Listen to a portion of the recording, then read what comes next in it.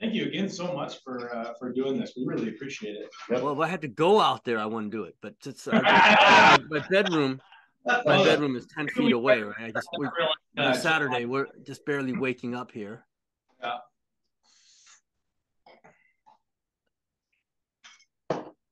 All righty. So now I'm going to sh- do a share screen. Let's see what happens here. So you let me share the screen already? Yep, you should be able to. Okay, you're right. You are correct. I think that's the one I share, right? And it's coming up. That's good. You see the slide now, right? You do. Yep. Okay, then participants can now see. Okay, okay, great. Um, so let's get started. Uh, thanks a lot, Shaun. Yeah, by the way, it's I'm I'm, I'm still kind of cold here because you know we, we we leave our heater on at 60 degrees when we go out uh, and sleep at night, and then on Saturdays the thermostat doesn't come back on until nine. so uh, it's a little cold. It's okay. I'll warm up. Alrighty. Hey, uh, thanks a lot for allowing me to come and guest speak. And for me, it's early. For you, it's uh 11 no 10 10 so 10 isn't bad so you guys even got out there in the cold at, at 9 o'clock that, that's pretty good so I, probably the restaurant's nice and warm but anyway let's get started here um, today we're going to talk anyway my name is ed fong and um, i normally teach at uc santa cruz uh, mainly in the graduate school i teach uh, three classes now uh, a high-speed interface class uh, rf antenna design class and a uh, communications class uh, radio circuits, modulation theory, and stuff like that. But today we're going to talk about antennas, and what we're going to talk about in particular is how how you what's the basic fundamental way of getting a single band J pole working a dual band without the degradation and performance that you would normally get. And we'll we'll review this. So it's about a 50 minute talk, and we're open to questions. And later on, Zoom's really difficult to, to break with questions right in the middle. So it's easier just try to make a note of the questions and then we'll, we'll have a session at the end for, for questions and answer. So what I'm going to talk about today is this uh, design we came up oh, probably 20 years ago. Now we've made improvements on it, but the basic fundamental design um, was back in February 2003. Um, but then we've made little modifications on it. And it's a pretty well accepted design. I think the ARRL has two of our dual band versions that they've tested. They've got one of our tri-band and also two of our tri-bands. So they like this design, and a lot of people have. Uh, it's hard to build, but a lot of people have this. We've sold probably, well, little, mm, in 20 years, about 40,000 of this design to folks, um, commercial and hams, about 40,000. So it's pretty well well accepted. It's, it's so well accepted. It's in the ARRL Volume Three Antenna Compendium, Volume Eight. Uh, it's also in the Antenna Classics, and somebody tells told me that it's even in the uh, regular handbook that they've added that in. So it's a pretty good design. I'm I'm not sure now. I'm not sure whether you can go out and build it that easily without a good network analyzer. Um, it's tough to build, but again, we offer it here. Uh, that's how we kind of fundraise for our, our uh, classes or our students here. Um, so we'll, we'll give you the details that you can purchase this at a very reasonable price from us.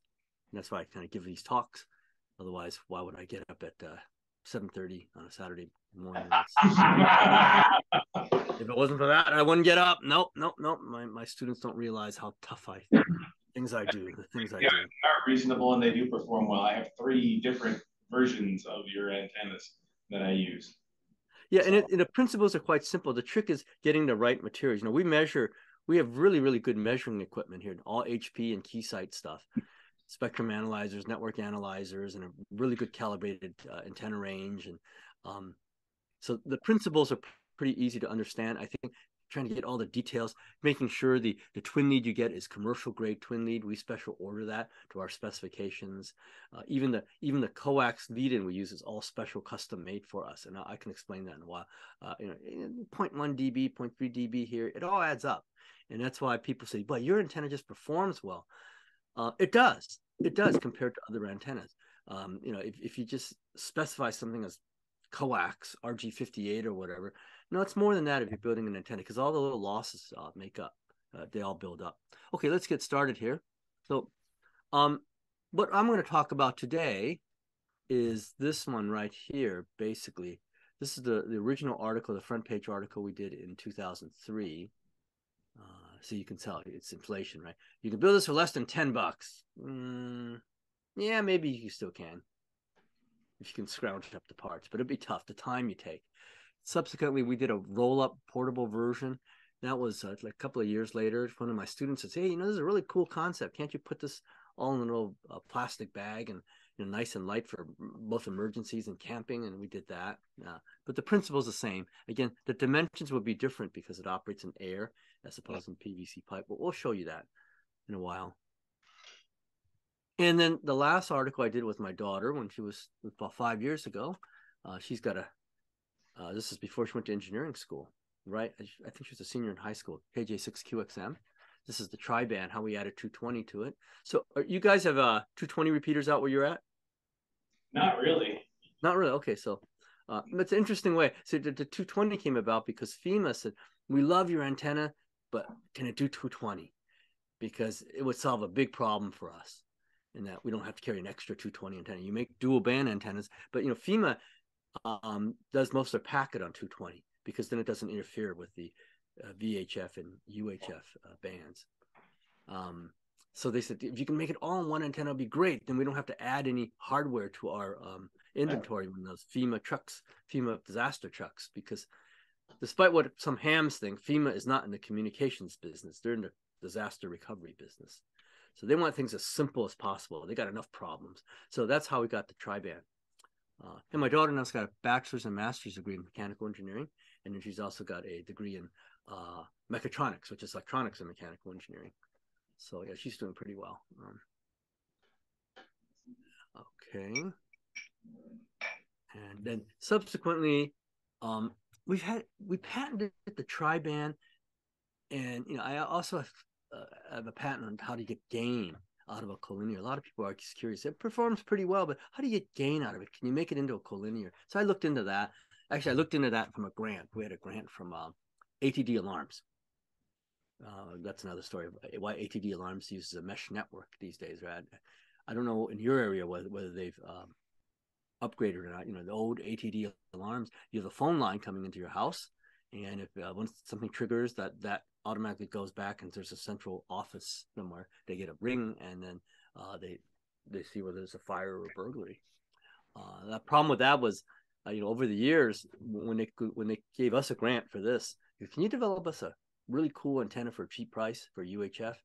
And how that came about was because they said, I go, why? You know, you're ATD, don't you use telephone lines? We really want to get away from telephone lines. Uh, the, the, one liner was like thing. we, we basically ATD Alarms was a collector of money for the phone company for 30, 40 years. They said, you know, the bill you pay 12, 15 dollars a month to ATD, you think you're giving it to the alarm? Yeah, half of it has to go to the phone company. They were charging so much. And so they decided to invest, uh, this is probably 15 years ago. Um, yeah, 10, 15 years ago. So, you know, we got to get away from this. We can't be the collection agency for the phone company and also you know people can cut wireless wired lines and all this. So they developed their own mesh network. Uh, when you if, you if you happen to have an atd fire or burglar alarm now you notice if it's a modern one you notice there's a little box either in your garage or in your laundry room with a little rubber duck antenna. Yeah they use uhf and a mesh network in a city. So they're all digital so they talk to each other and then get they get to a central office. And that's why they needed the for the weaker people they needed an outdoor antenna and that's what we developed for them so I gave a talk on that, and then I I published that in CQ. Um, made a ham version. They were 465 UHF, um, and you know hams are 445. So I modified and published a version, a ham version in CQ. Um, so so anyway, the why do we patent this? Uh, originally I didn't, but uh, on, on the one we presented today, I just did it for the hams. the things people started copying it not only that, the people start copying it, they start selling it. And that was even okay, except that we started buying them and they weren't very well made. They made it out of cheap materials. They didn't work very well. And I, uh, and that was even maybe marginal. Just, let them do whatever they do. And I, I think uh, really broke the straws and camel back was when they started saying, buy the Ed Fong antenna, published in QST. And they were making and making all the money. And, and, and again, what bothered me was wasn't there were the ones I saw weren't very good. I had some of my students buy them. I go, go buy because obviously they recognize my name.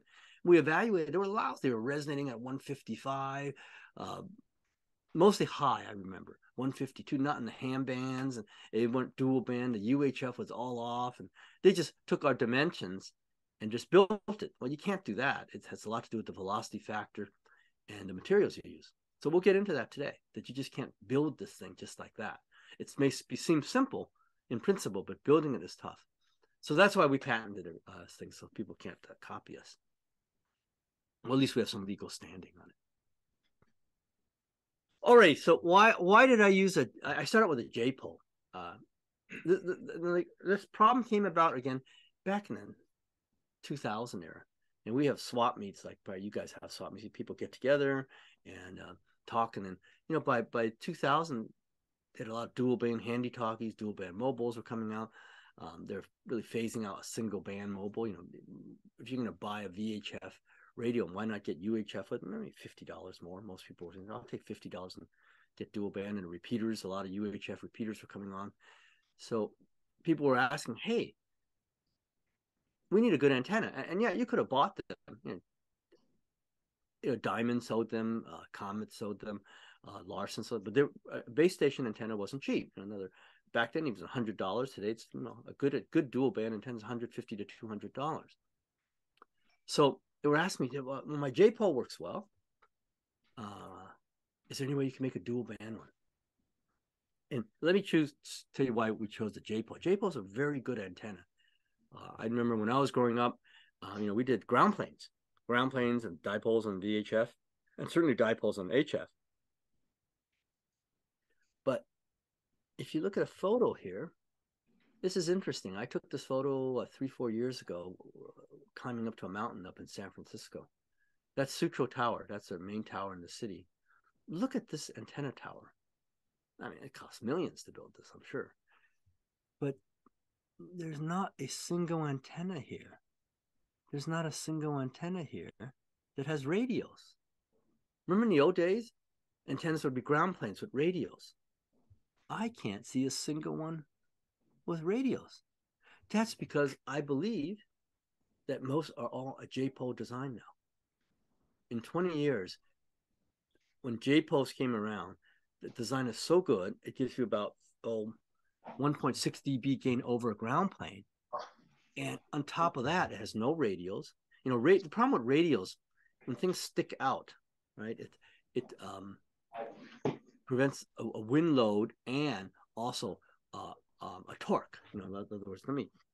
Hang on, I'm in the wrong room. I'll grab one of these antennas and I'll show you. Hang, hang on, just hang on one moment. Possible the tower put on, or they vibrate it off. Oh. Or frequency antenna doesn't require 800 meg.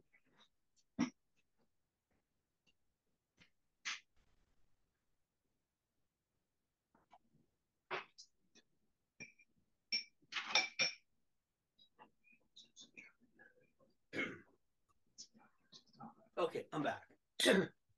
See, for instance, if you have radios, it's like here's a PVC pipe.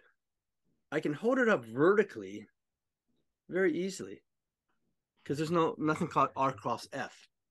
The distance is zero if you're a mechanical engineer. But a radio has to hold horizontally like this, and that's much harder to hold. And if you have three of them, over time they'll fall off and sometimes birds will go on top of them and uh, it's just terribly unreliable in the wind. So when this design came out with the j poles started getting popular commercially and, and hams also adopted it. Um, it, it grew popularity really really quick. I mean the only the disadvantage is it's taller. So what? It's taller. The weight is vertical. You don't feel it and it holds up much better. But i tell you a um, a real gain of it is this the design I'm going to talk about today. It's what's called a DC shorted design. So I'm sure a lot of you already use J-pole designs. I, I don't see very many people use ground plane or dipole designs anymore. Um, I'll, let me get into it. It's a DC shorted design. That means you really put it this way. If you've got one of these J-pole type designs, and I'm sure a lot of you do, I hope you don't have a lightning arrestor. on it. You don't need a lightning arrestor. You can't beat it. You put an ohm meter across it, it's a DC short. It's not an AC short. Obviously, it resonates at 146 megahertz and 445. When you put a impedance meter, you know, network analyzer, read 50 ohms or close to it. But when you put a DC meter across it, it's a DC short. It's always discharging. It cannot hold a DC charge. So as long as you, uh, you know, the shield obviously is grounded on your coaxial, you tie the shield to, to, the antenna, and it's grounded. It, it, cannot hold a charge. It's DC short. Um, well, here's yeah, here's an example of a, dipole. Um, took this picture years ago. Here's, I'm sure it works fine. It's a dipole antenna made of copper pipe. You've got the radiating element and the shield element right there, and then there's a little insulator in there, a little Teflon insulator. And if you look at this, uh, can you get it to work? Or you can actually get it to work quite well. Electromagnetically, you can, but mechanically, it's sort of compromised, extremely compromised, in fact. Here you have a dipole, and you have this it. That's going to act as a reflector. Any conductive mass would act as a reflector. And if you don't want the reflector to get in the way, in this case, you know, without even doing a simulation, you know the wave is going to go this way because that's going to act as a reflector. So that's not good. And how do you minimize that? Well, make this arm further and further out. Get this section further and further away from the mass, and its effect is going to be less and less. But you can't mechanically because I can tell that this antenna will not last because this held it's held together by solder, right? There's a T connector with solder, and you guys know solder is very soft. It's not a weld. A weld would hold. Solder does not hold. Solder's electrical. It's not mechanical. If you solder, it's really soft. If you had this antenna further out, in fact, the way it is now, I bet you it wouldn't last very long in the winds. You'll rock this thing back and forth, back and forth. Eventually, mechanically, that joint there will break apart. And so it, it, you just can't use this on, on a mountaintop and it, you can't even use it in a home. Eventually it falls apart. I, we've tried these. And now that you know just feeding it at 90 degrees is, is very tough. While feeding it on the bottom like a j pole is very easy and it lasts.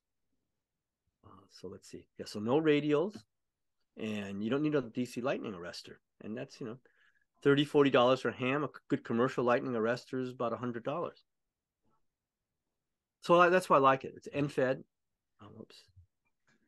Ah, I'm moving this around too much. Yeah, it's end fed. It's very close to an ideal pattern, um, uh, ideal uh, half wave pattern. A ground plane does not. A ground plane has radial, so the angle of radiation is not quite as low. You get a little lower angle of radiation out of a vertical dipole, but it is taller. There's no doubt. And so the the J pole design is not that practical for HF because it's a it's only it's halfway vertical and a quarter wave matching stub. So it is quite tall. But again, at VHF and UHF, at UHF it's really reasonable. A quarter wave at UHF is only six inches. So it takes two half waves and a quarter wave. So it's at UHF 18 inches. At uh, VHF, oh, it's more like 55 inches still reasonable. So it's not like 19 inches anymore, but it's vertical. Vertical, you'll find it's, it's pretty convenient if you played around with these. So, okay, let's move on here. So anyway, I was first introduced to this antenna and I'll get into it. it looks like that, but I'll explain how it works in a while. But I was introduced to it in the 1990s and I, I really liked it. Uh, the dual band thing didn't come about until later on. Um, but I like the simplicity of it, and it, it, it I was introduced to it in 300 ohm twin lead, and took it home. Uh, my friend Denny gave it to me. He said, "Hey, try this." He, uh, I don't know where he read about. It. He read about somewhere, and certainly it worked. I said, "But it would work better if we can stick it into a PVC pipe and then make it into a base station." It was just twin lead, and it wouldn't last very, long outside in the wind, but the principles work. So let's stick it into a good PVC pipe this new stuff that's out, you know, UV protected. They say will last for 30 years, and uh, yeah, and that that kind of all started this idea, and yeah, we've sold approaching on 40,000 now, quite quite a bit. Let's see. Oh, so by 2000, so I'm, I'm playing around with this stuff, and I, I have one in, at, at my house, and uh, I they're easy to build, they're cheap, certainly I took out the ground plane I was using. I was convinced this is a pretty cool design. Uh, but by 2000, when all these dual band repeaters and dual band handy talkies, dual band mobile start coming out, people started asking questions saying, you know, we, we want an antenna that can do UHF. And what they found was, well, either their ground plane or their J-pole worked. And the first thing you check, what happens? What happens if I put that uh, UHF, uh, that's this new handy talkie, whatever that does UHF? Let me just test the SWR on the antenna I have. Turned out it was okay. Uh, better than what would expect. You said, wait a moment, I'm going to use this at UHF and I only have a VHF antenna. Um, does it work? And they thought it kind of worked.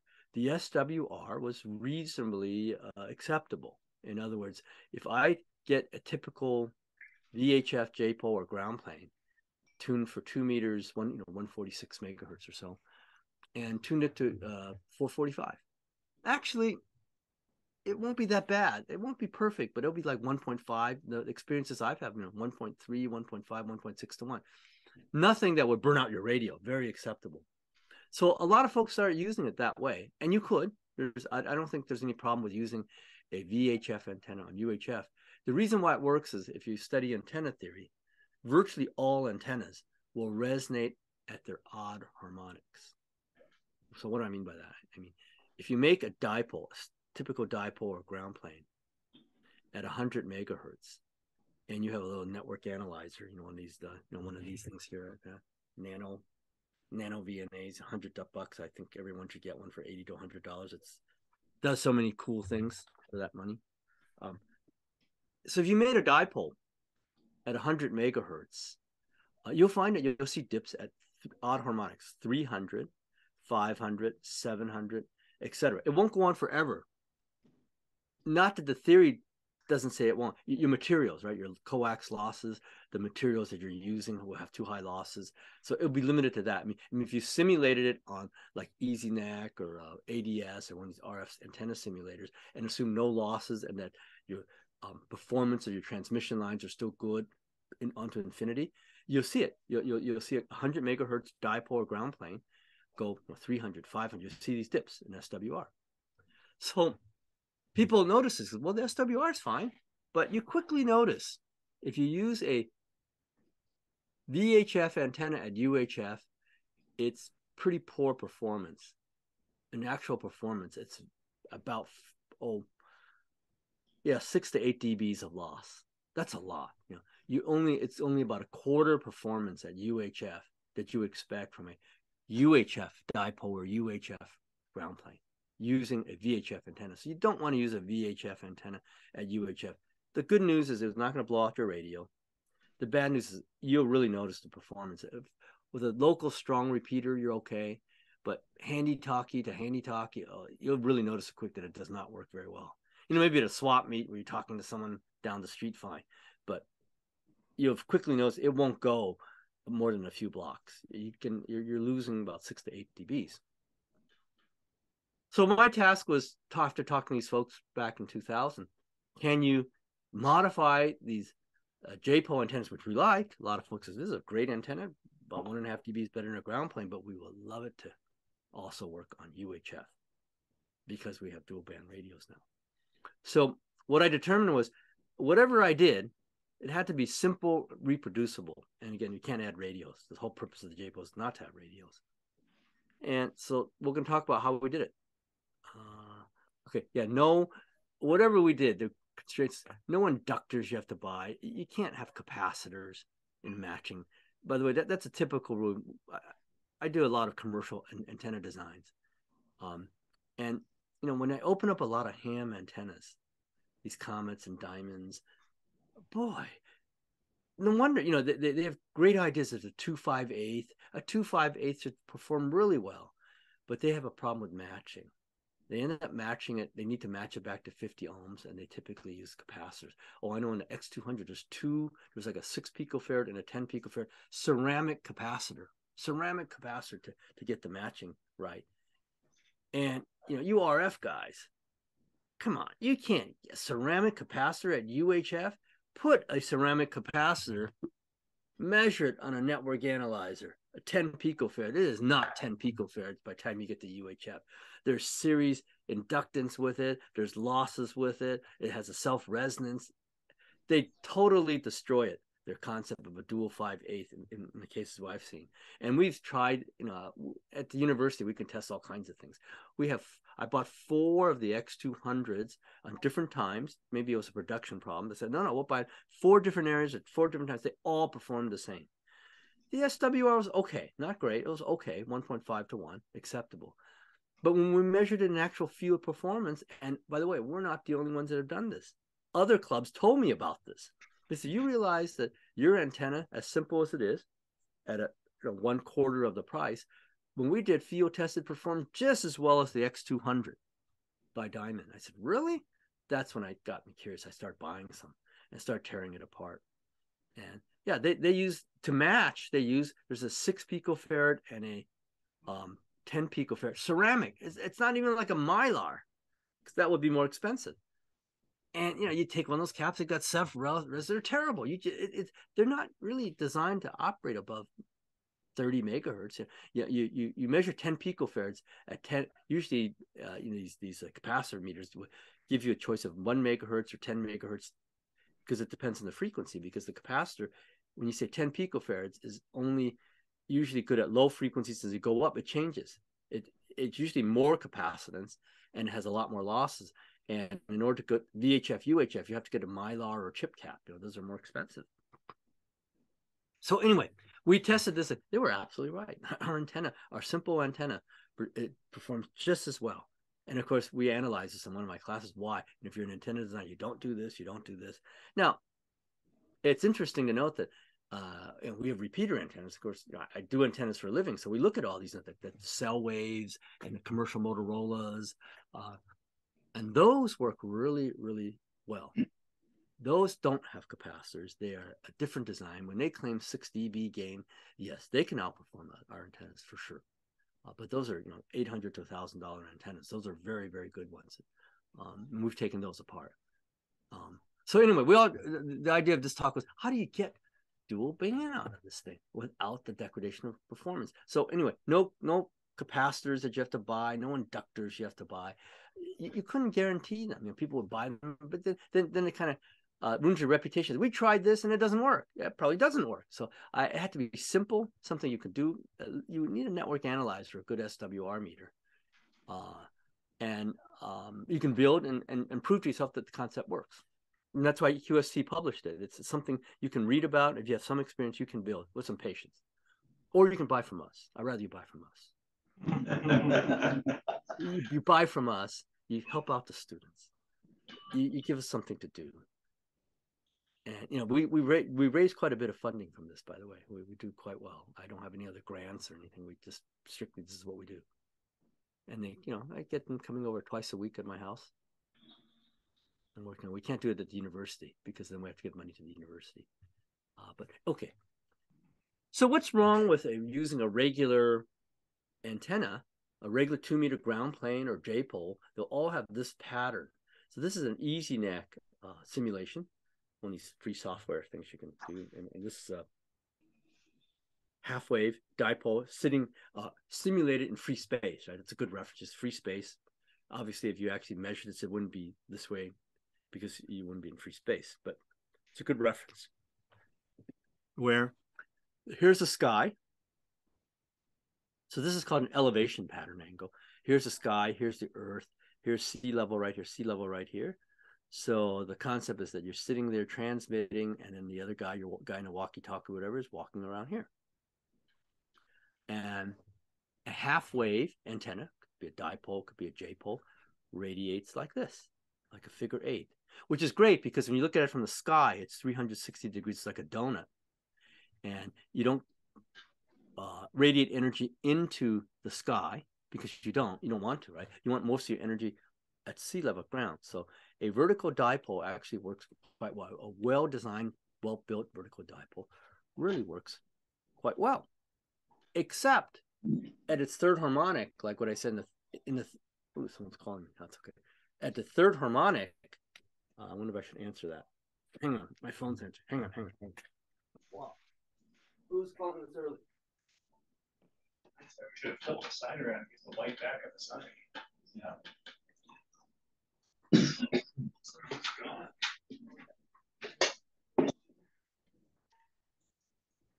Paint somebody's on. I get antenna antenna phone calls on a Saturday morning. Thank you. Sorry about that. So back to this talk. So it turns out that a vertical dipole at VHF, the UHF pattern looks like this. Not the SWR. The SWR is okay. Here's the sky. It turns out 75% of the energy goes up into the sky. And you're only left with about 25% of where you want it. So our antenna is okay if you're talking, you know, if you're talking to the International Space Station to an airplane, it's okay. But typically, we're always talking to somebody back at sea level or close to it. And that. that's your energy lobe. That's what we want to get rid of. So it's not a matching problem, it's an This energy way, distribution There's pattern. less ripple in this. True. So let's see how we get rid of that. Let's see how we now why does that exist? I'll tell you, it's very simple without the math. It exists because in a J-pole, what's the slide? Uh, In a J-pole design, in a J-pole design, um, here's the half wave. Here, this is twin lead. I'm just modeling as twin lead. So this is this this side you don't use. In a J-pole, that is the half wave right? That part here. Normally, in a dipole, we would have fed it in the middle like this, right? In a normal dipole, you would have fed it in the middle. In a J-pole, we feed it at the end, and I'll explain how we do it in the end. So, so let me explain something real quick. So I don't know how familiar you guys are with Smith charts.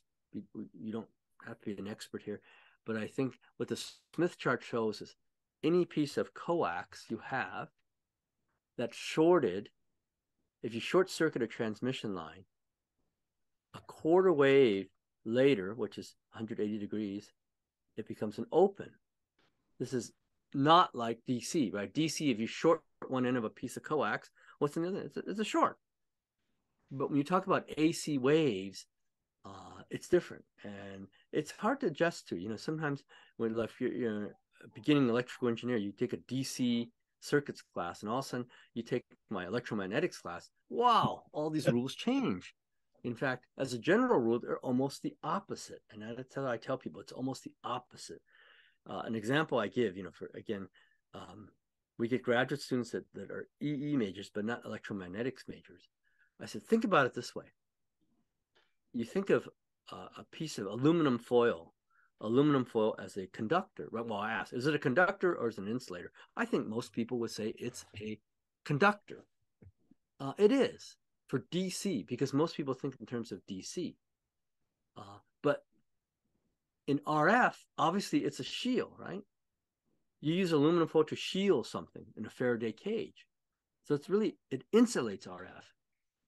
And so you got to remember this. The other opposite is I give you a piece of wood, give a person, is this an insulator or is this a conductor? Most people say, well, it's an insulator because you get an ohm meter across in DC, it reads infinity. But at RF, it's a conductor.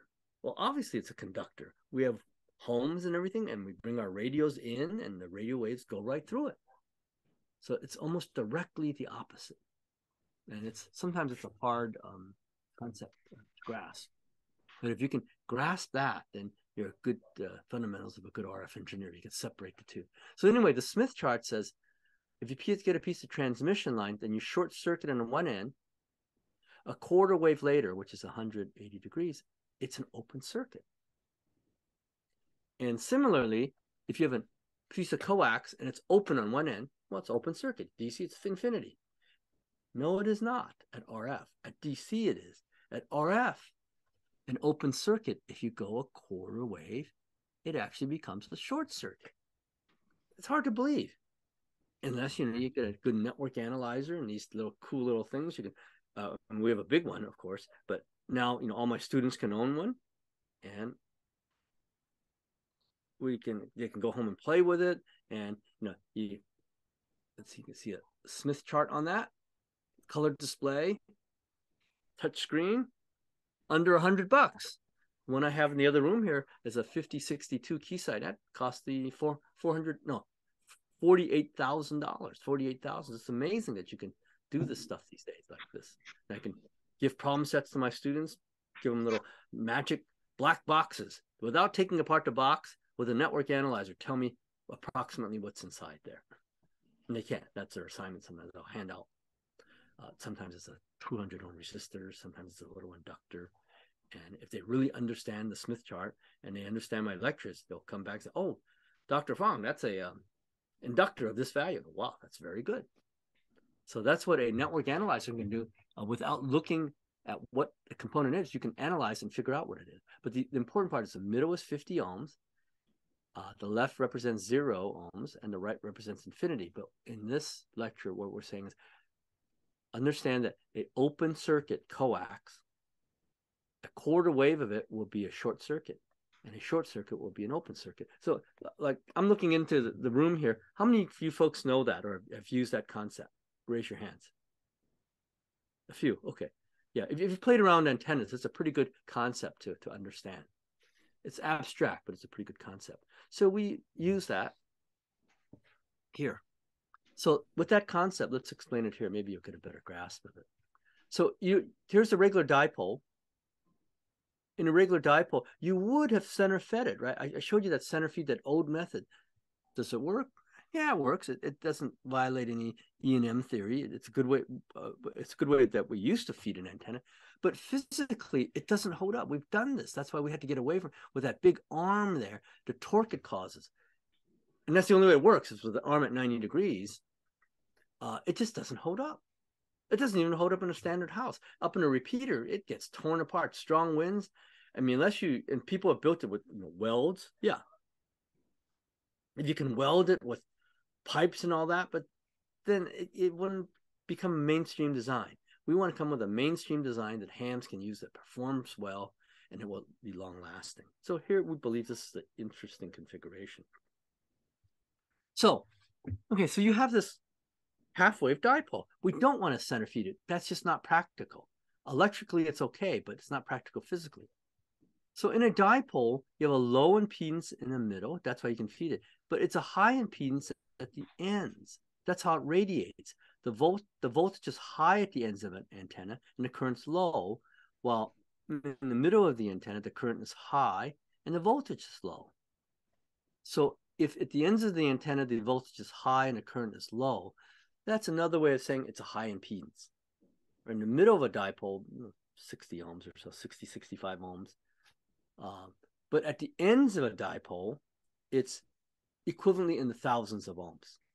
It's not infinity. I mean, you're never going to measure infinity, uh, but it's very high. It's very high. Ideally, it might be infinity in a vacuum and all that, but but on Earth, no. It's it's just very very high. But you can kind of assume round it off to infinity. So that's a high impedance point right there. So how do you match that? You need another high impedance point, right?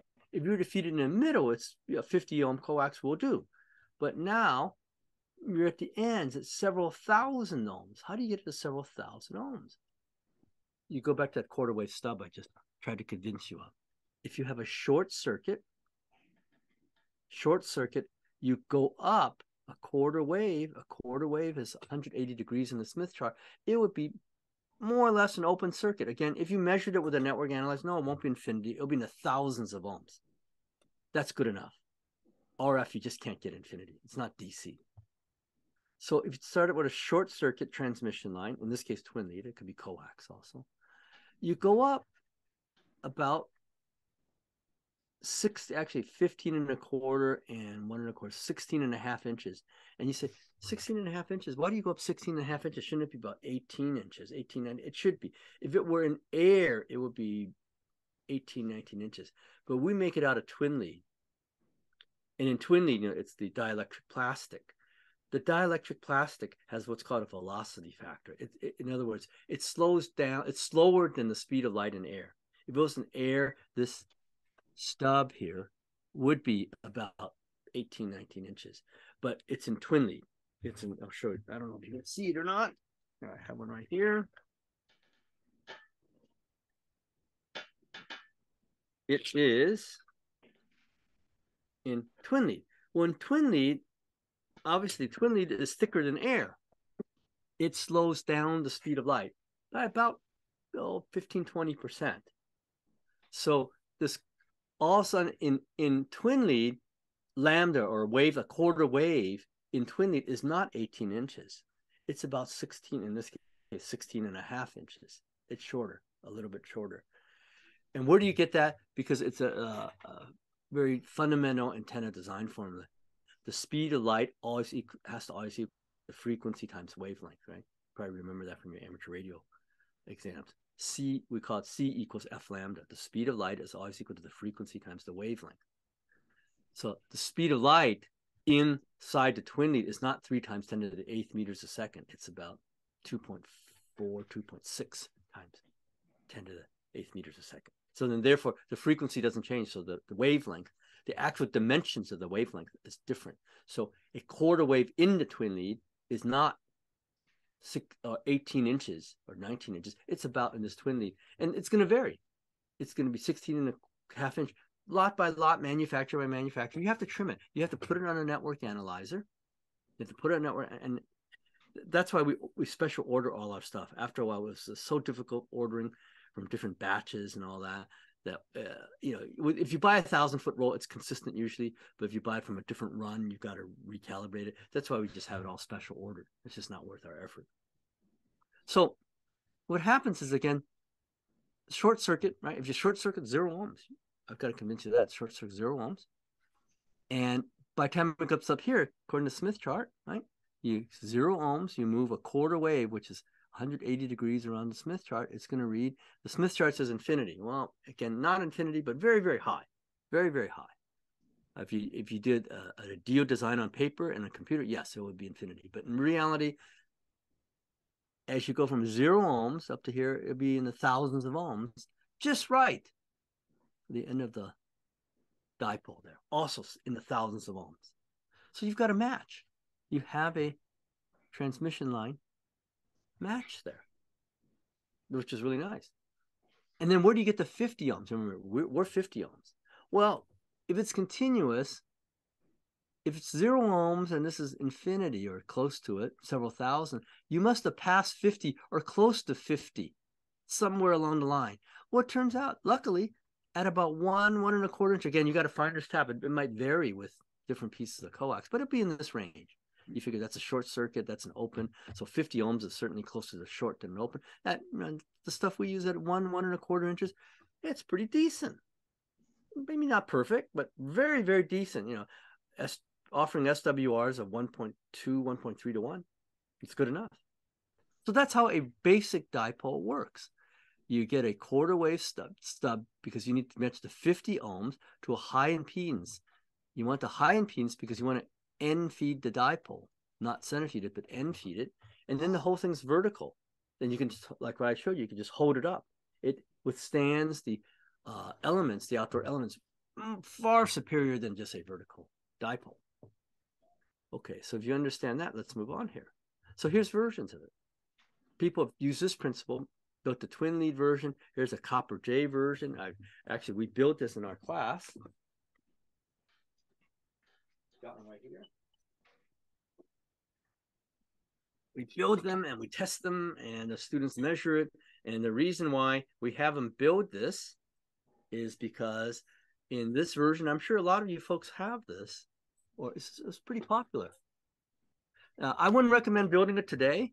Uh, 20 years ago, this was great because copper was fairly cheap. Oh, this is $40 in copper pipe now maybe more. The last I checked was like forty-two dollars. You need twenty feet of it at least because you chop it up. But the principles are the same. Here's the half wave radiator. Here's the quarter wave. That's the transmission line you build. The transmission line you build. See, here's the short circuit. Here's the 50 ohm tap point. Now, does the antenna work? I mean, it's popular. Of course it works. Yeah. Otherwise, it wouldn't be popular. What it doesn't do is it doesn't do um, UHF 70 centimeters very well. Uh, but you said, Ed, you just said it, it will resonate as, as its uh, harmonics. Well, the problem is the limits of the, remember I said the limits of the material. This is the limits of the transmission line. This doesn't act as a very good transmission line at uh, UHF. It's acceptable, barely acceptable at VHF. So you get to remember VHF, a quarter wave is about 18 inches. This is a little under two inches. So it's barely meeting the requirements of a reasonable transmission line. This has to be a transmission line uh, at VHF. Now, the twin lead was great because it's only a quarter inch spacing. That acts as a tr- transmission line clear on up to five, 600 megahertz. This is only good for VHF. At UHF, and then the other problem you run into is you got to hop across the tap for the 50 ohm tap. That's almost two inches. You can't expose UHF two inches and not think you're going to get losses. That's two inches. That's it's going to start radiating. It's not shielded. So this design is, you know, we have it. It, it works pretty well for VHF. I won't say it's optimized. It works pretty well. You'll be happy with it if you built it. Uh, again, I wouldn't recommend it because by the time you put the copper end caps, you got these T's, you got these uh, elbows. It's about forty dollars, probably more these days in materials. Copper is just very, very expensive. But it, if you want to learn about antennas, it does work. And but the, it will not do UHF. Now, to solve the UHF problem, we, we bought the Arrow antenna. The Mhm. Arrow has another solution for the UHF. And we have we don't build this. We bought this. This this is kind of hard. This is kind of hard to build, but but you know, 50 60 dollars you can buy them. Fairly rugged. It's the one with Ready Rod. So I used Yes. mine for mechanics. You guys have who has one? You have one? I did mine in Ready with Ready Rod instead of aluminum. Oh, what kind of rod? Ready Rod is a thread, thread- threaded rod from the, the hardware store. Oh, really? So you built it then? Yeah, I built, we built a bunch of them uh, at another ham club. We built five of them and they all tested out uh, SWR wise and stuff fine. Yeah, SWR wise, you can get them okay. It's decent, right? Yeah, Yeah. That's, that's The VHF, it's great. The UHF, not quite so much. exactly. That's ex- you took it out of my words. Yes. He's So not- we tested this out. We, an we build it. 'Cause Here, Building it he- is pretty. When you say building it is pretty hard, I mean it's, it's a lot of work building this thing correctly. It's, I give you credit for building it because we bought it. I said fifty bucks. I'm not going to build this. I just buy it. Um, it's pretty hard. I mean, I I give these guys at Arrow some credit because you know you got to machine parts and all this. So it works like this. Here's the VHF section, and here's the matching. So the transmission line is pretty far, but yeah, it does work at VHF. Okay, you compare to ours, it doesn't work quite as well. Uh, you know, we've just optimized ours like crazy with simulations, and you know, no antenna manufacturer would have the resources, but I got cheap graduate students that could do all kinds of tests. I think a lot. Coax. I mean, they love it. When I said, let's try this coax versus this coax just for the feed line. You know, how many antenna does manufacturers? Uh, Let's try this manufacturer coax. So we finally said, how about since I know a coax manufacturing, why don't we talk to the guy and make coax this way? Because they learned something. How do you get lower loss in coax? And they made us a sample, and this it buys time. I need materials in my classes and we were testing it and the coax we use is special made coax it improves it at vhf probably not a whole lot of difference but uhf oh probably quarter to a half db better because if you have bad coax as you know at UHF, it makes a big difference. So I'll explain the coax how we make this custom coax. In fact, if you guys buy some antennas, I'll send some of this coax to you and you'll cut it up with, yes, it is not the same as Belden but I'll explain why. I talked to the Belden folks. I know you guys probably don't know Steve Lampen. He's the, he was the VP of Western Regional Sales here in the U.S. And we understand this. Uh, the coax, the one we made, is purely optimized for low loss. That's all it is. It- it's not as rugged. We'll get into this later. But anyway, so how does this antenna work? Clever. I think it's clever. I, they probably have it patented. Here's the VHF section. And probably they knew the VHF section has a low impedance for UHF, but it has that terrible pattern, right? It has that pattern. They know they're not stupid at Arrow. They have EZNEC. You know, it's a free software. Why not use it? That 75% of the energy goes up into the sky. They knew this. So what they did was they paralleled a UHF stub to it. So the UHF portion is this J pole. Here's the radiating element, and here's the feed point. That is a UHF J pole. This element and that element is the VHF J pole. And why does the UHF perform so-so? Here's why. It does it at a single feed point. So the single feed point, when you feed a VHF signal, yes, it goes through here. The VHF signal will not resonate with the UHF section here. But when you feed a UHF signal, it sees a low impedance at UHF from this section and also this section. So with a little bit of hand waving, you can say if the matching is the same at VHF and UHF, that means half the power, half the UHF signal will go in here, which is the improper antenna, but the other half will go into the proper antenna. So have they made a little gain here? Yes, they have. Half the energy that you put into the feed point here is going into the right antenna. But the other half is still going into the wrong antenna. So you end up improving this pattern uh, by quite a bit. You probably get more, at least uh, at least twice the energy going here, at least. But still, you still have those lobes. Not as great by half, half of where they were at, half. So that's an improvement. But what they really need to do is totally isolate this piece at UHF and only have this piece. And we believe, well, I know we did it. The design I'm going to present to you is easy to construct, much easier to construct than what you guys did. Because yeah, that's that's a it's a lot of work. Again, I chose to, for 50 bucks, I'll give you the $50 and I'd rather have my students just evaluate it. Then there's another version of the J-pole antenna, which is called the Slim Jim. So that's just nothing, if you really analyze it, that's nothing more than just a J-pole with, if it's made of twin lead, you tie the ends together. There's some rumor, I don't know who started this, that you get 6 dB gain out of it. You do not get 6 dB gain. The good news is you don't harm it in any way. It, it, the, the two elements are too close, and it all from all the tests and simulations. And Larry Siebeck, he's passed away now. He did a lot of tests because he looked at this. There's no way that's going to give 6 dB. Of course, there's no way because it doesn't give 6 dB. It's just, but but you know the thing is, if you build it this way, with that connected, it doesn't seem to hurt it. The pattern is pretty much the same. We've tested this, and um, I would agree that. Uh, so if you if you build what's called a Slim Jim, uh, it does not do dual band, but for a single band, it works fine. But it doesn't give you 6 dB. It might give you 6 dB over a rubber duck, but not over, you know. When I read the, and it's not an ARRL, I read the internet stuff, if you tie this together, it, it gives you the impression it gives you 6 dB over not tying it. No, it does not do that. It does not do that. Nothing's that simple. So in order to get four or five dBs out of it, I've got to talk on make how to make a collinear. It's a lot more complex than that. So let's see what else I have here. Okay, so how did we do it? How did we do it? Now that you've been sitting for half an hour, uh, you're ready for the trick. How, how fundamentally, how did we do it?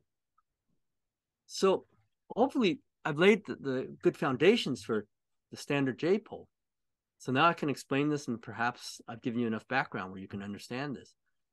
So the quarter wave matching stub at the bottom stays the same. And uh, here, let me draw you the waveform. Again, it's a short circuit at the bottom of a quarter wave stub, and it's a high impedance at about 16 and a half inches, at 16 and a half inches, because that's a quarter wave at, in the twin lead. It would be, if you were doing an air, it would be about 18. So how does the waveform look when you drive this? Well, obviously a short circuit's got to be zero volts, and it's very high current then. And as you go up this quarter wave stub, it becomes a high impedance. High impedance says high voltage, low current. So if you would actually send a signal here, get a, a AC voltmeter and move it along this line, it would be obviously zero down here. It's a short. If you move it along the line, you'll get a high, a high voltage reading, just like the end of the at the end of a dipole antenna. You know, you'll get a high voltage reading. So same here. If, if you measure the voltage, it goes from zero to the max, whatever that is, at a quarter wave. So what happens at UHF? What happens at UHF? Why does it match at UHF? Why is it when you ever, every every time you add a half wavelength, you get uh, an impedance match. You know, why is it that a 100 megahertz antenna works at 300, 500, 700?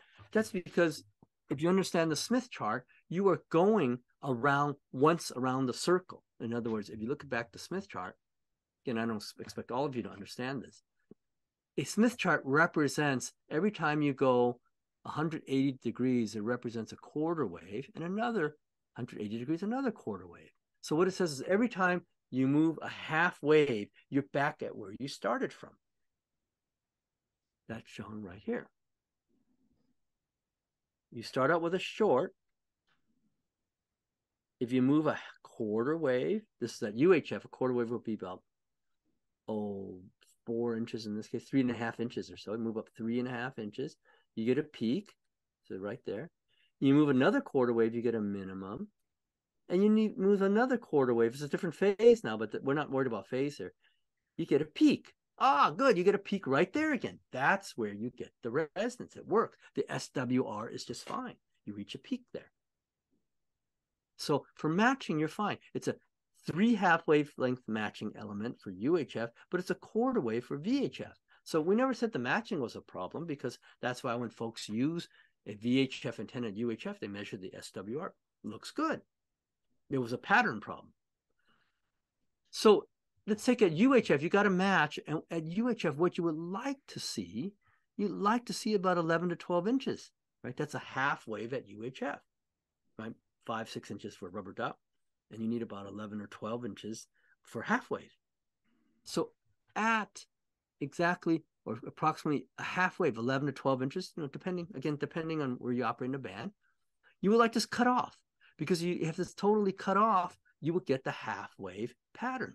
If you did this, you would get that nice half wave pattern. But then what would you do at VHF? If you cut it off, then you just have a UHF antenna. How do you get VHF out of this antenna? Because certainly the stub will match, but you don't have an antenna. So what you do is you add this four and a quarter wave inch, four and a quarter, four and a half, depending on what frequency you want. That's the quarter wave for coax, a quarter wave at UHF. It's not five inches or five, five and a half inches. That's in air. This is in coax. And in coax, again, you have what's called a velocity factor. The wave does not travel at the speed of light. It travels about maybe 20, 30% below it. So it's going to be shorter. So it turns out to be about four and a quarter, four and a half inches, depending on where you want it to be. But you short it on one end, if you short it on one end, then other end would be an open circuit, according to the Smith chart. It's just a short on one end, it's going to be an open on the other. So when you place this on top of this, here's the shield, and here's the center conductor. At UHF, it looks into this. What does it see? Infinity. Well, that's exactly what you want to see. So that the wave, the UHF wave, doesn't continue. Because if it weren't for this, you know, if it was for the regular for the regular J pole, you, you go up, you know, 11, 12 inches here at UHF, it still sees wire. So the current starts continuing. So when it continues, what happens? It goes up, it pulls the wave up. That's where you get those lobes going into the sky. You would want to just cut off. If you could cut this off at 12 inches or 11, 12 inches, it'll work great as a UHF antenna.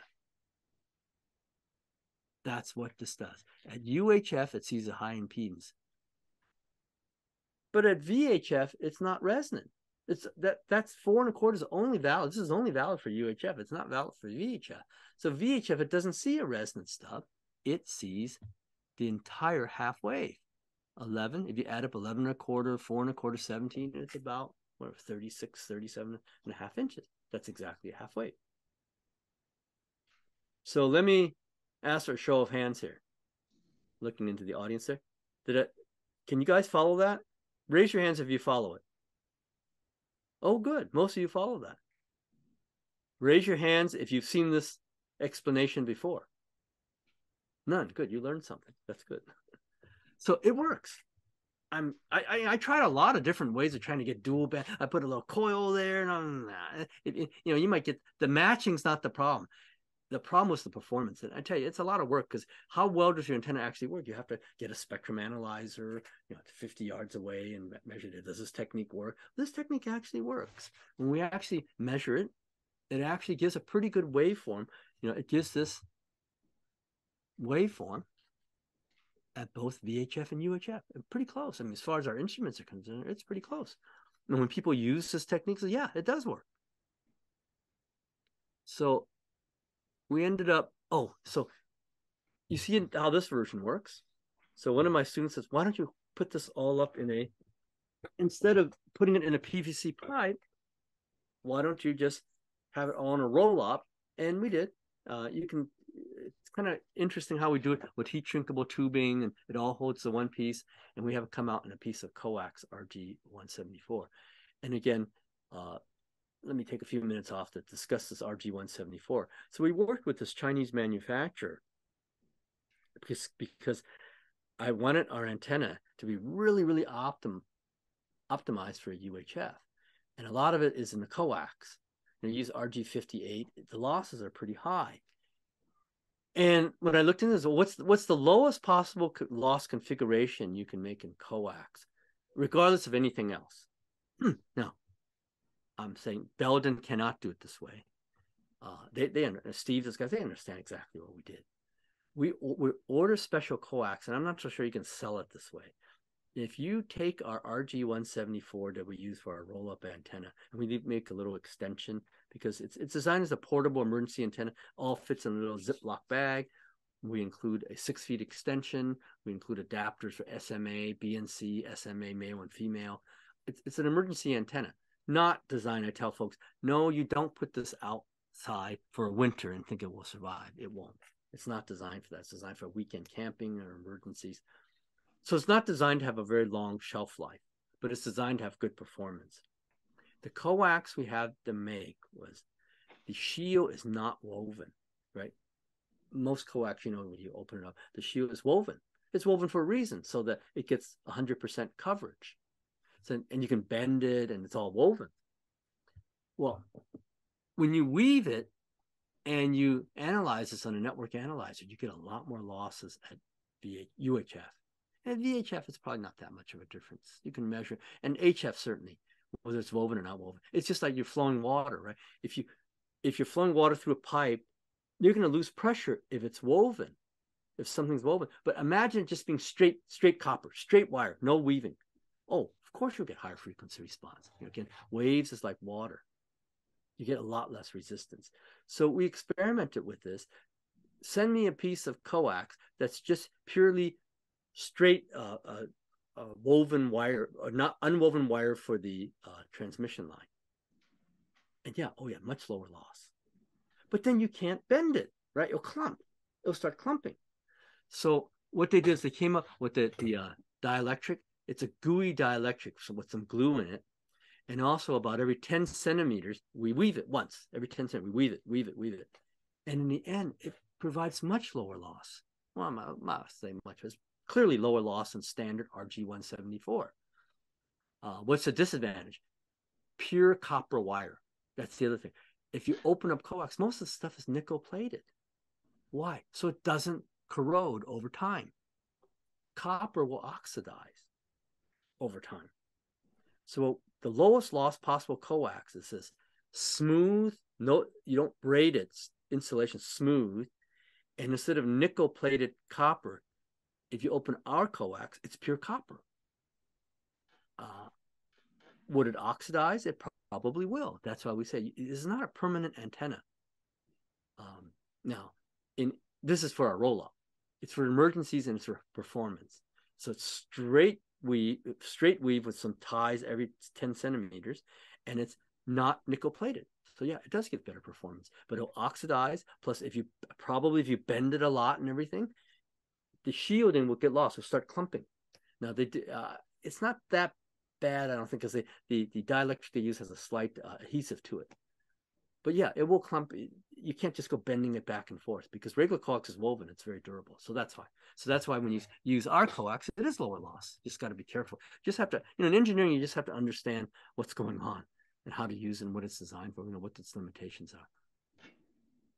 Uh, so again, if you do the uh, base station antenna, where the here where the antenna goes into the PVC pipe, because then it's protected. Then it's very well protected. It has to transmit through the PVC pipe. Again, that slows down the speed of light. And you'll find that the one that's rolled up that's designed in air, if you measure the two, the one that's operating in air is about two inches longer. Two inches longer. Because C is equal to F lambda. At three and one is the speed of light in air, and one is the speed of light with the PVC pipe covering it, and it slows it down by eh, about five percent or so, maybe three to five percent. It's shorter. This definitely has to be shorter for it to resonate. And we find that even the PVC pipe is very critical of what you use. Uh, again, one of my graduate students looked at this, that the Lowe's, the lo- stuff you pick up at Lowe's, item number 23990 works the best, the lowest loss. And it's not that expensive. Okay. So we're getting to the end of this talk. How about measurements? So you get a good spectrum analyzer. This is a Keysight 8591. And sure enough, it does work it works in practice and when you actually measure it here it is the a two meter a standard two meter j-pole at uhf here's where it operates at uhf now that's just a, re- a reference good plot we've adjusted everything so you can see it well but if you use our antenna at uhf with that modified stub you get about 6 dB back. You get it almost almost exactly as predicted. 6 dBs is a lot, by the way if you guys are engineers at 6 dB, that's four times the performance. All you know, put it this way: if you use a two meter J pole or, or even ground plane at UHF, losing 6 dB is like your Baofeng walkie talkie. You put it at four watts or any walkie at four watts. You you use a two meter antenna at UHF, you it's just the same as it at one watt. You lose 75% of the energy. So you really want to operate with an antenna that operates at true UHF. And if you actually make measurements, you actually make measurements out of this, it works. I mean, that's just a single shot. So the master's thesis here, right? You got to come up with ideas for master's thesis. How do you measure antennas? When you actually submit a performance of an antenna to like the National Institute of Standards and Technologies, their basic recommendation is you just can't take one measurement. That's why you see all these bogus measurements. Oh, we measured it and it did this. And then they stop. They take the best measurement. No, it's a little bit more complex than that. For an antenna, what you really want to measure is at least five measurements, but more than that. It's got to be at three different situations for an antenna on a rainy day, a foggy day, and then a regular clear day. And then you take the averages of them. And we find it if you do that, yes, I would say the simulations that you simulate with and design with come pretty close. If not, it's your antenna design, you're building it, there's a problem with it. But when everything's working right, yes, it will come very close. Here's the numbers we get. This is so it's 15 measurements on each of these entries. But now that each 15 is five is on a rainy day, five is on a overcast day, foggy day, and five is on a clear day. And so, so this is just a relative measurement. Minus 24.7 dB with a standard quarter wave ground plane, basically. And we did this in a parking lot on a Sunday, so there's not as many cars, or hardly any cars in the case that we did it. Sunday, bring out your network analyzer, start measuring, and you say, why would you do that? Well, students love to do this stuff. They love to experiment. They they actually don't like. They don't go into engineering because they like the theory. You go into physics if you like the theory. You like to mm-hmm. build things. So yeah, yeah, Sunday morning you can get students doing, it, especially if their their grades dependent on it, right? And so we did this measurement minus 24.7 dB. It's just we could have normalized that to zero, but I, I think just leaving it minus 27.4. A rubber duck in the same situation or close to the same situation, you lose about six dBs. It is true. A rubber duck is lousy at VHF. If you're talking to a repeater short range, you're fine, but its performance is worse than a quarter wave antenna a VHF J pole is better than a ground plane quarter wave. Uh, not by much, maybe a dB, dB and a half. Yeah, it's not by much, but but, but you probably notice it if you use a uh, uh, a J pole configuration. Again, it's not night and day, but enough to notice. And our dual band J pole is like a regular J pole with, within 0.1 dB. It's within 0.1 dB because we added some stuff to it. Um, that stub. So it maybe it looks like it does lose 0.1 dB, but that's that's really negligible. You'll never hear that. It's just that we have equipment that can measure that. And again, you have to take 15 measurements too. that comes out. It's pretty much in the noise. Now, how about at uh, UHF? At the UHF, uh, again, same experiment. Uh, you use a UHF quarter wave antenna minus 38.8 dBs. And now with a rubber duck, rubber duck, you don't lose as much because in a rubber duck at UHF, you know, it's it's they're usually five, six inches, close to a quarter wave. But then, uh, what you get the losses from is you don't have a good ground plane. You don't get you know, it's just walkie-talkie. That depending on the ground, uh, you don't have a, resonant ground antenna, so you lose a few dBs. A good one you probably won't lose as much, but typically you lose you know, two to three dBs. So rubber duck doesn't work as well as a good resonant antenna, but not bad. Not like at VHF, you lose six dBs. That that's very noticeable, and you guys probably notice that, right? When compared to put a ground plane antenna and then your rubber duck, a big difference. But at UHF, there is a difference, but it's not as major. Now, a standard J pole uh, at UHF now, it's terrible. Again, you see this on that plot, but if you take 15 measurements, it's still terrible. That's not not a not a quark plot there. It is. You take 15 measurements, it loses uh, 60, 6 to 7 dBs. That's a lot. 6 to 7 dBs is a lot. Uh, but if you use our configuration, just a little clever stub that I think if you're diligent enough, you can do it. Even though the good network analyzer can be done, or else you can buy from us. If you want a reference design, you can just buy from us because we've worked on this a lot. Uh, I mean, it's probably more the materials that we use that really makes a big difference to make sure that you get the right coax, you get the right twin lead, and all that. Um, it all comes back. You get a, you, you at UHF our technique is like a UHF quarter wave, and that's really what you want. Uh, so let's see. So here's our lab here. This is the original when we did it back in 2008 or so. You so that's the 8753. We we still have that. Nobody uses anymore. We still have it. That I paid. You know, back then instruments were very expensive. I paid like 80 $88,000 for that back then. Uh, really expensive a network analyzer. So we got the new one here is a 5062 does the same thing. The good thing is it has um, USB interface and it's really based on Windows. You know, there's actually a computer back here. This one has no computer. Uh, it's all dedicated uh, processing circuitry. No, this one's really a PC with a hard drive back there, and then the front panel is all the RF stuff that interfaces to it. So it interfaces directly to a PC and cheaper too. It's like forty-eight thousand. I think we paid for this. That's and see the Nano right there, under 100 bucks. It, it virtually does 90% of what this does. Probably not as precision, but you know, for most uses, it's fine. Okay, so coming to the end of this talk here, you guys are probably getting pretty tired, and it's finally warming up here. Uh, so this, a lot of people question the stub. So when we measure the stub, you're right. At resonance, this is at 445. It is not infinity. It's at a few thousand ohms. That's why I said a few thousand. But it, the principle still works. You know, to get a stub at to be open circuit, it's really tough. You know, it's coax is lossy. That's the losses you're measuring. And then, you know, I see how stable is that stub? I put my hands around and everything. Eh, it's pretty, it varies, but not at resonance. When it's resonating, it's pretty consistent. So that stub is pretty consistent. Not infinity, but certainly not short or not 50 ohms. It's way up there. It's good enough. Oh, and then you wonder about how is it at 146 megahertz? At 146 megahertz, it looks like this, almost an open circuit, slightly inductive that you would expect that. Almost an open circuit. Here's here it is. It's sweeping from 30 megahertz to one gig, so it doesn't matter where the other places are. But at 146, it's pretty much an, uh, a piece of wire because a wire in midair looks like that. And see, here's how it hangs up.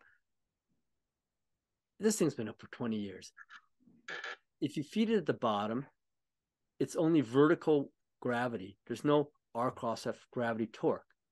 So there's no uh, tension on this. And so it, it's a very good way of mounting an antenna. And the only disadvantage is it's pretty tall. You know, it's three one quarter wavelength tall, while ground plane shorter. But it, but if you make it out of PVC pipe, it's all round it's hard to even see this thing blow in the wind. It's all round. It's very aerodynamically designed. When you have all round, there's no wind load, so it doesn't bend in the wind. And you know, I didn't test it, but I know FEMA tested this technique. 150 miles per hour just holds up hmm. because it's all round. It's aerodynamically designed. See, here's here's the roll up. Here's the antenna itself.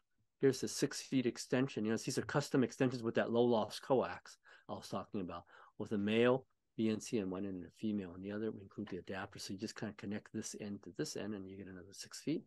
And you can connect uh, two of these together, you'll still be okay. By three, the losses at UHF start getting high.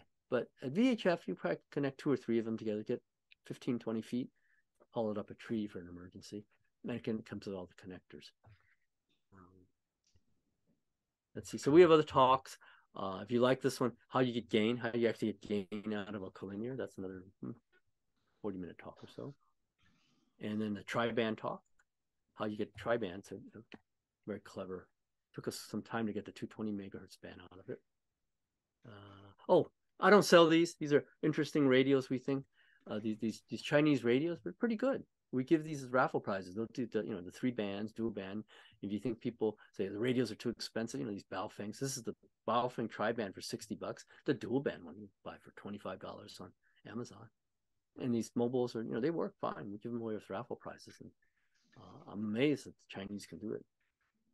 Um, the only thing we've changed in real life is what you'll see here. Uh, we used to design this antenna.